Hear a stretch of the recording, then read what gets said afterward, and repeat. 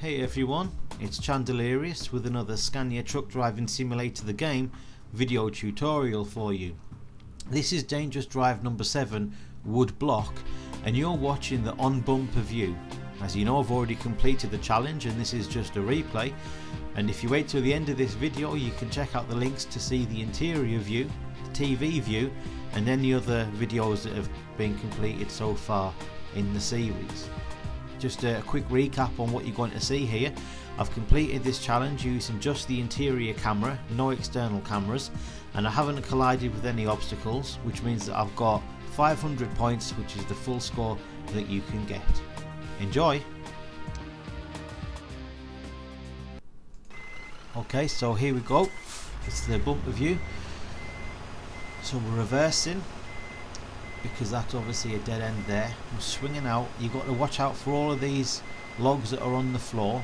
There's been a couple of times where I've attempted this and I've hit those logs or I've even gone on the grass and then I've got stuck. So you really need to use your mirrors at this point as you're going up the hill.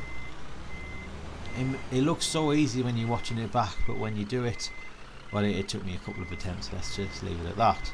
So we're now swinging round this way and you've really got to watch out the front as well. Even though you're using your mirrors you've got to check out the front that you're not going to hit any of these logs. So you can see I've come forward a bit uh, I'm reversing a bit and I don't even know what I'm doing at this point apart from making a bit of a, a hash of it. So I've straightened up here and I'm now reversing because I'm attempting to turn the, the trail around so that I can go forward rather than reversing down the entire track. When you're reversing you've obviously got to be aware of where the end of your trailer is that you're not going to hit anything. When you're reversing and turning you've got to be aware of the front of your trailer that you're not going to clip any objects like these pointed trees or stakes or posts or whatever you want to call them that are on the floor now. So I feel like I'm in a good position so I'm pulling forward a bit you don't want to go too far and hit these uh, bits of wood.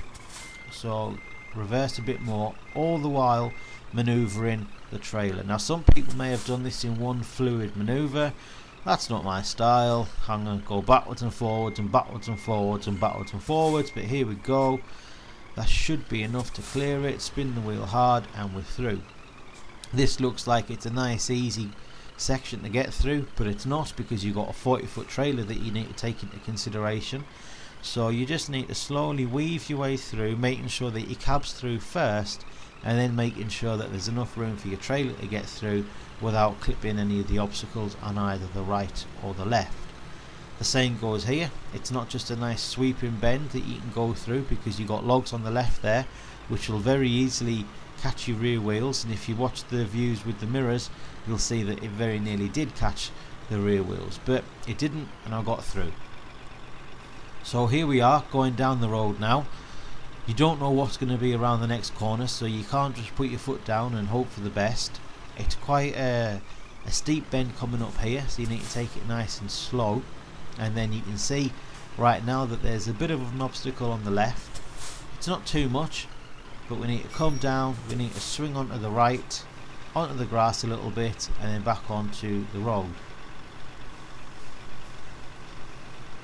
Ignore the road to the left we want to go straight ahead into the mill.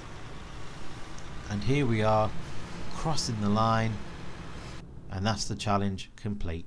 You can check out the other links that are on screen now. If you'd like to subscribe or leave a comment please do so it's much appreciated and I'll see you with the next video.